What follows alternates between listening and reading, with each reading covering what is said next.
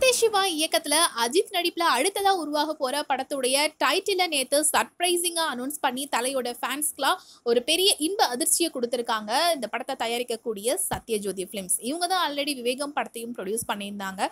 So படத்துக்கு title விஸ்வாசம் அப்படின்னு ஒரு அஜித்துக்கு அப்படியே தகுந்த ஒரு டைட்டில வச்சிருக்காங்க.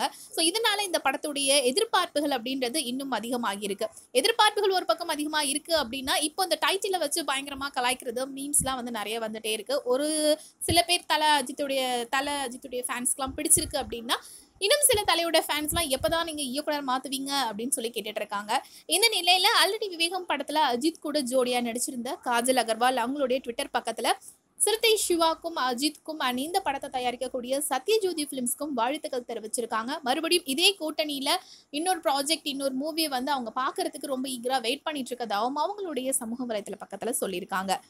இந்த மாதிரியான நிறைய சினிமா அப்டேட்ஸ் தெரிஞ்சுக்க ஃபில்மி ஃபோக்கஸ் சப்ஸ்கிரைப் பண்ணுங்கள்